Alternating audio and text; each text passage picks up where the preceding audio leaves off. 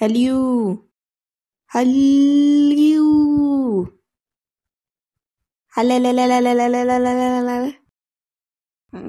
Don't mind me, I'm just testing the audio because usually I would record in my closet, but um my closet is very small and it's really hot and this script is super long and I didn't want to spend 3 hours recording in there.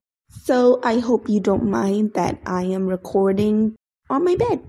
Just just on my bed. I'm just just recording on my bed. Hey there everyone. It's been a year of silence from me on YouTube, and it's been two years since the last tutorial video. I'm sorry about that. I won't waste your time explaining it here though. But I do have a few things to say. Timestamps below if y'all want to skip this part. But for the people who are staying, I'd like to thank you all so much. I had a lot of stuff going on. I still do but I would like to thank everyone for the only video on my channel with so many views. Upon the upload of the Fire Alpaca tutorial video that I totally did professionally, it's totally professionally edited in Windows Movie Maker. I have received a non-stop river of comments. Most are follow-up questions about Fire Alpaca, the video was intended to be an introduction, so I didn't go too much in detail, so I'm sorry about that. I was responding to the comments at first until it got a bit overwhelming. So I decided to answer everything in one video, which is this video. If you're interested to know more stuff like how to draw with a mouse or how to make full art pieces and such, let me know in the comments. Oh, I have a video coming out after this one that's already ready actually. Alright, let's answer some questions, shall we? By far the most asked question is I accidentally deleted so and so window, what do I do? So when this happens, first of all, don't freak out. I actually mentioned about this very early on in my video, but I think a lot of people skip that part. Basically, to open a window, go to the top and go to Window and click on the windows you want. It should have a little check mark if you enable that window. However, I have seen people who say that they aren't able to get their windows back despite checking the box and clicking on the windows that they want. I am no expert in these kind of technical stuff, but I recommend one thing. On the Fire Alpaca website, you have older versions of Fire Alpaca that may be more stable for your computer. You can test those out if you want. Maybe they can work. Next question. How do I save a drawing that I have made? Okay, so to save a drawing, go to File and click on Save As. Then you should be able to choose the folder you want to save your image in. You can name your image and then set the image file type. You can save it as a Fire Alpaca file, which is the MDP file, so that you can open the project later with all the layers still separated. It's like a Photoshop file. If you want to make it an image, you can save it as a JPEG, which is a flat image with a white background. If you didn't color the background, it'll turn the background white. You can also save it as a PNG, which enables you to save it with a transparent background. So that basically means that all the parts that you did not color will appear transparent. So this is basically how you make emotes and stuff. I'll show you little differences right here on the screen. Ah, here we go. Another popular question. And this answers another question too, so I'm gonna combine these. What tablet do you use? And do you use a mouse to draw? The answer to those questions are no, I do not use a mouse actually. I use a Wacom Bamboo tablet, which is a very old tablet that they don't sell anymore now. I think they don't sell it anymore. I'm pretty sure some resell theirs, but they stopped producing it basically. It's a very cheap tablet. I think it was around $60, I got it from my mom as a birthday present back in 2012. She recently bought me an iPad though last year, so I've been drawing a lot on that.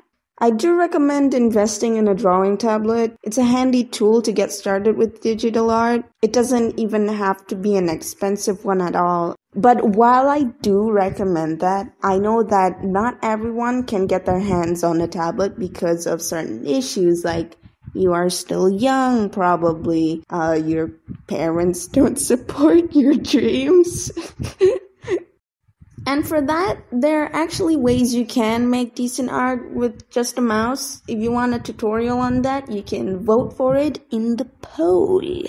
Another question I see here and there is something along the lines of the lines I draw appear slower than where I'm actually drawing, which I also will be compiling with the questions how do you link your tablet with Fire Alpaca and other similar questions that usually ask about malfunction and technical stuff. First of all, Fire Alpaca is automatically synced up to your tablet once you have your tablet installed. If that's not the case for you, you can try some other options. This could be a technical issue. It might be your tablet driver that you have to reinstall or try downloading an older version of Fire Alpaca. Sometimes for me in particular, whenever I have these kind of issues, refreshing my desktop works for that.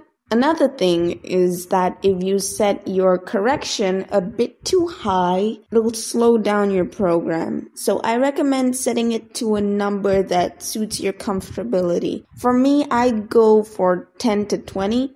If it's not all that, you might need to contact your tablet support because it might be a hardware issue. I'm so sorry I can't provide many answers for these problems. Like I said, I'm not a tech expert. I don't know much about programming, so I highly recommend contacting your support for these issues. I wish I could help. Again, I'm sorry, but I only know how to use a drawing program.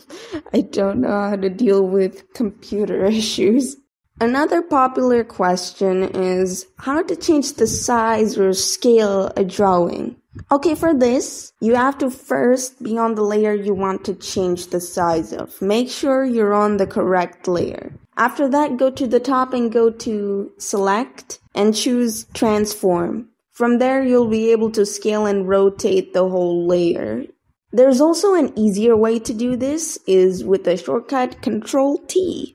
But what if you want to change the size of one particular part of the layer? For example, you have so many things on this layer, you just want to change one part of it. Well, take the lasso selection tool at the top, which is this peanut shaped thing, and draw the part you want to change. You can also use the selection pencil for this. It does the same thing. After that, control T again, and you can change it that way. It'll change like that and then press OK. Remember to press OK.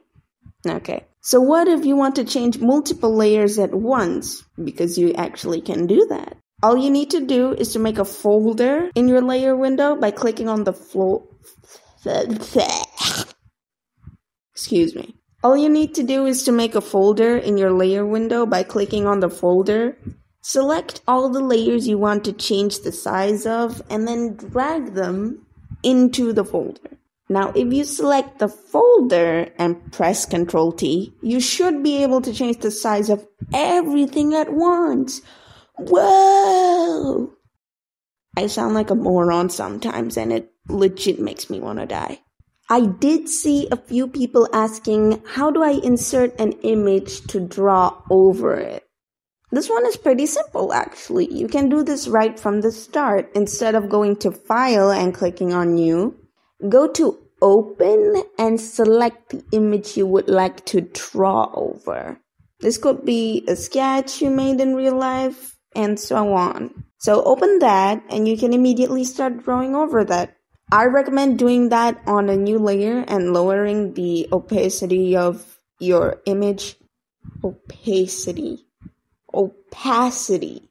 You can also add an image to a drawing you're already working on. For that, do the same thing. File, open, choose image. It will open in a new project. Now all you have to do is to select everything by going to select and choosing all or use the shortcut control A and then use shortcut Control Z. After that, go to your current project and press Control V. You know how Control Z, Control V is copy paste? Yeah, that. Your image should appear in a new layer. Next question. When I use the bucket tool, it leaves white uncolored particles behind on the edges. Is there a way to fix that? This is a very good question. Yes, there is actually. You see, to color, I recommend doing it on another layer that is below the line art. Then select the bucket tool and make sure the reference right here is set to canvas. So select canvas and now we just click on the part we want to fill, but unfortunately, oh no, it does not fill the edges as you can see. The trick here is on the bucket tool option, there is something called expand. If you set that to 1, it'll expand the fill by 1 pixel. You still have these small parts that aren't really colored, but just simply draw on those. It doesn't take long. Okay, so I think that's all I can answer for now. I'm sorry I can't answer everything, but I think I got the frequently asked questions out of the way.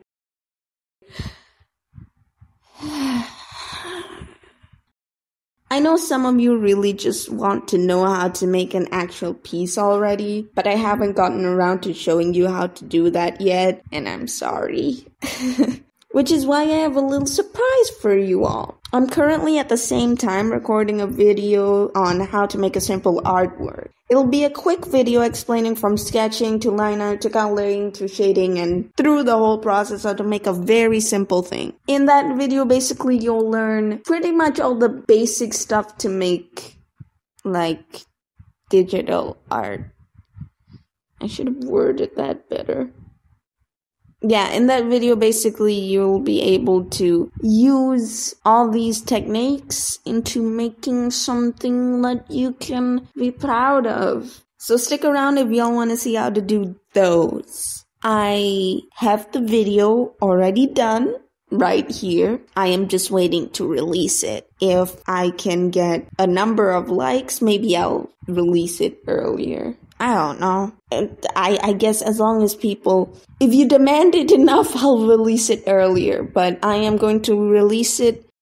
I'm planning to release it next week. So yeah, if you want me to release it even earlier, I guess you'll just have to demand it real hard. Because my plan is I want to finish another video before I post the next one so that I have constant content going on because not posting for a year is making me feel like my channel is about to die. Anyway, that's all for now. If any of you do end up being able to make something with the help of my tutorials that I am not really good at making, because I'm a disgrace of a human being, do post them on Twitter or Instagram and tag me. I'd love to see all you guys' artwork. It makes me happy. It makes me finally feel like I come. Shut up! Notifications. It makes me finally feel like I have accomplished something in life. All my social medias. Shut up! Jeez, my iPad keeps making those sounds. I should probably mute it. All my social medias are in the end card and on my channel banner. Thank you so much for sitting through this whole thing. Thank you for being around in general. I honestly feel really happy that the previous tutorial video went so well. I I didn't know people were going to receive it so well. And thank you all for that. I genuinely don't know how to express it. So yeah, I'll see y'all soon.